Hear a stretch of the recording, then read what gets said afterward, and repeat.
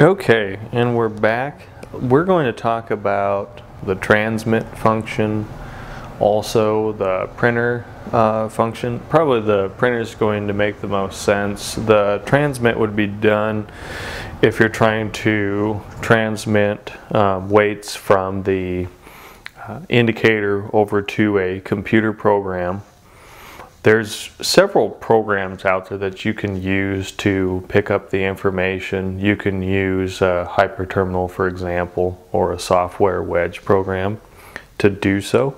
So let's go ahead and set the indicator up so that way it can transmit information that's in a um, legible format.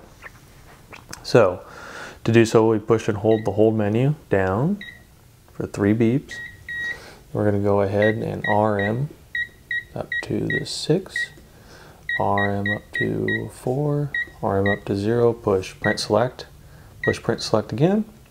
We'll go into the config and we will change this digit right here, the fourth digit, into a 9 and then that will allow us to transmit information and set up for a printer or transmitting to a uh, computer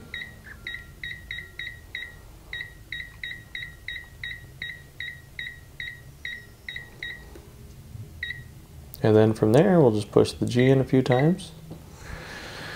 And then if you have a printer connected, you can transmit the weight and print from there.